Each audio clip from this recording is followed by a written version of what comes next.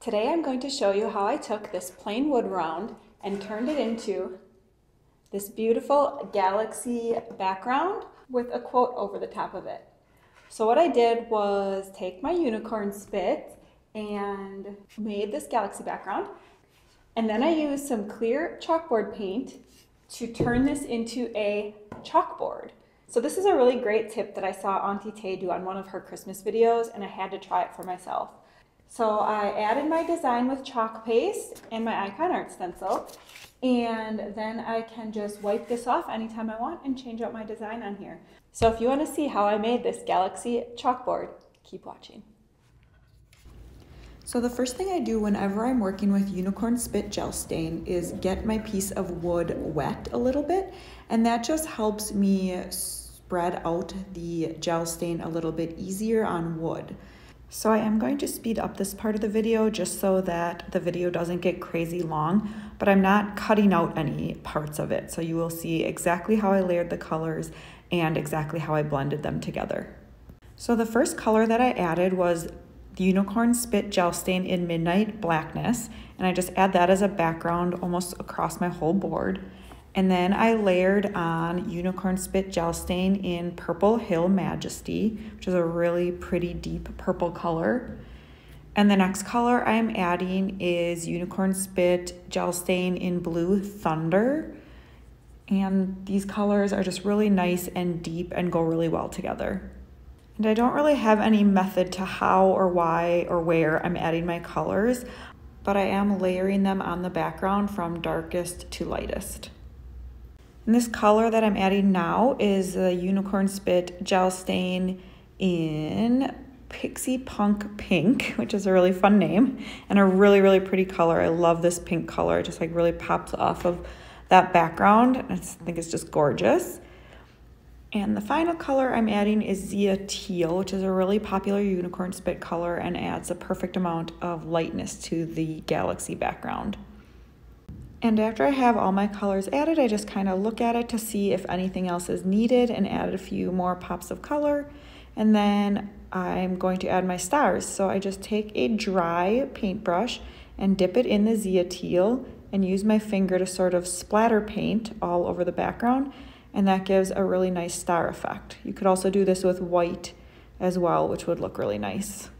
And that's pretty much it for the galaxy background. I'll just let that dry completely and then I'll be ready to convert it into a chalkboard. So now that my background is dry, I'm going to take this Rust-Oleum clear chalkboard paint and just paint it on my background. And it looks white in the can, but it does dry clear. And I ended up doing two coats. So I completely covered with the first coat, let it dry overnight, and then I added a second coat the next day. And I just wanted to be sure that if I would use water or something on this to wipe off my design that I'm going to be adding with my Ikonart stencil, that the galaxy background would be completely protected. So while we wait for that to dry, let's make our stencil. So the first thing I'm going to do is print my artwork and we do have this design available on our website on our free artwork page if you want to also make something with this craft more worry less design. But anyways, I'm just printing, mirrored my image, selected my paper size, and then I choose my print presets. I will link my print settings below. I have a whole video that covers it in great detail. So then I just print and I'm printing on our 11 by 17 printer film today because I'm going to be making a large stencil. I wanted it to cover as much of the wood round as possible. So I'm using our 12 by 18 stencil film. So I'll just print off my design and then I will be ready to make my stencil. and like I said, I am making a 12 by 18 stencil today. So I used our extender rod to raise up the light and then I will just expose my stencil film for one minute and 40 seconds. And after that's done, I'll be ready to wash out. And if you want to speed up your washout a little bit, you can soak your stencil in warm water for 45 seconds to a minute before you wash it out, just to soften up that emulsion. And after that, I use a speedball frame to just support my stencil while I'm doing washout. So I'm just going to use our trigger jet nozzle and continuously run the water over the stencil film until all of the mesh openings are clear. So when I hold it up to the light, I don't want to see any purple emulsion in those mesh openings. And earlier when I was talking about print settings, it is because your print settings make a huge difference on your washout. So if your artwork is not dark enough, you're gonna have a lot of problems with washout. So I will link a video below that shows me washing out a 12 by 18 stencil in real time, not sped up at all. And it includes some tips on washing out your stencils and what to do if you're having problems. And after your stencil is completely washed out, you can just dry it. I'm using the dryer that we sell on the website. You can also just let it air dry or use a blow dryer on low heat. And after it is completely dry, you're going to post expose for another five minutes if you're using the extender bar with the light raised or a minimum of two minutes if you're using our regular height stand. And post exposure is very important to for the durability of our stencil, so you definitely don't want to skip that step.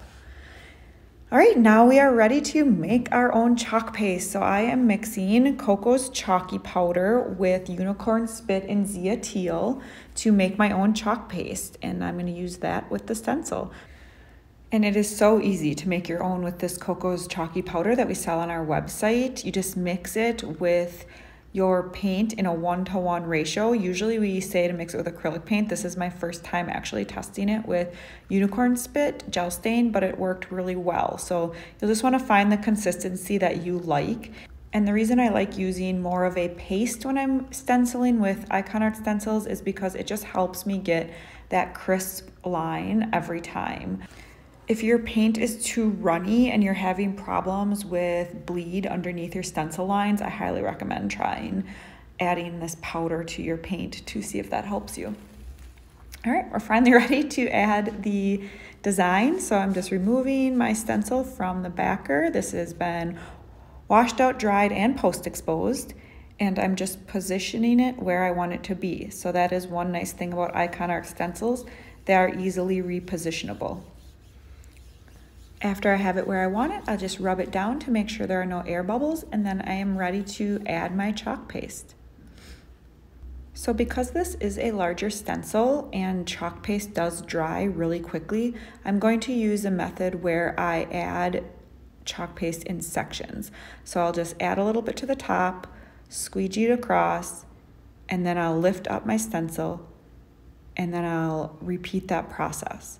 This helps so that the chalk paste doesn't dry in the mesh before I lift it up.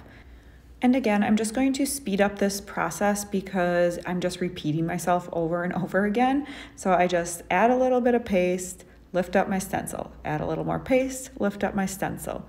And I can kind of look if I missed any areas and add more if I want to and kind of work my way down.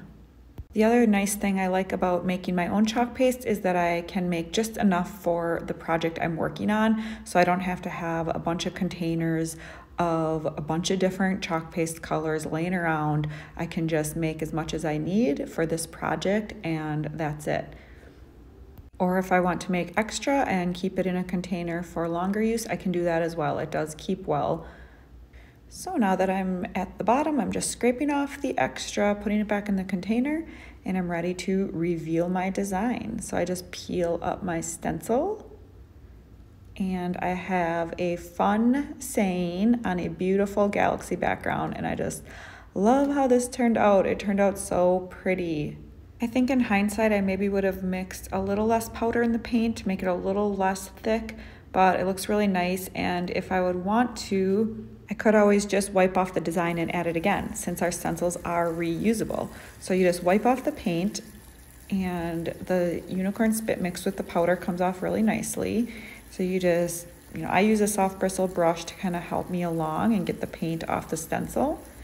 And I'm just making sure that all of my mesh openings are unclogged. So if it's on a little bit of the outside of the stencil, that doesn't really matter. It really just matters if it is in the mesh openings.